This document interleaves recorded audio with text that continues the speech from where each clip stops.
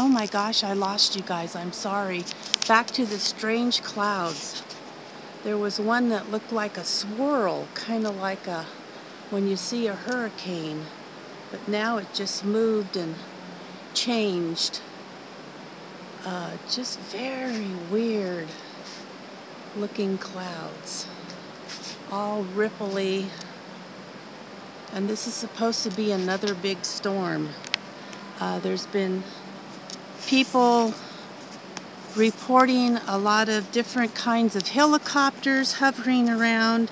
We don't know what that's about. Um, it could be they're just checking the creeks, the snow, um, just checking all that out. They might close the park down again. They might evacuate everyone out because um, of fear of more flooding. Uh, they're holding up okay. They shut it down for a while last night and reopened um, later in the evening so my husband was able to get to work. But uh, there is talk that they might be evacuating everybody out of the park.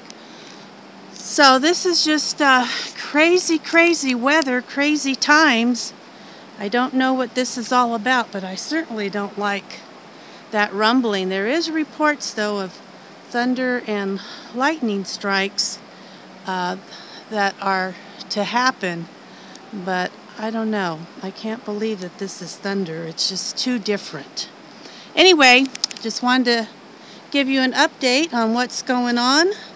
They're cutting trees across the road. I saw one of the tree people up way up high in a tree. He hasn't cut it down yet. I think he came down from the tree maybe they decided not to cut it down. But anyway, there's a lot of activity going on, and here comes that rumbling.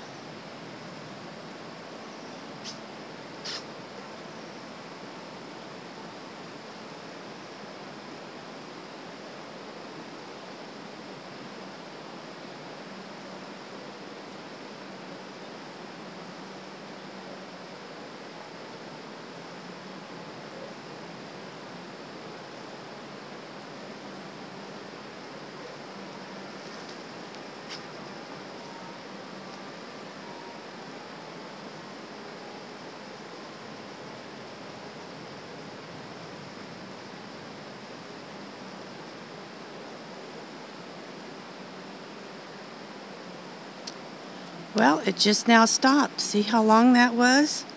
It almost sounds like when a whole, like a big Mack truck drives by and makes that loud sound.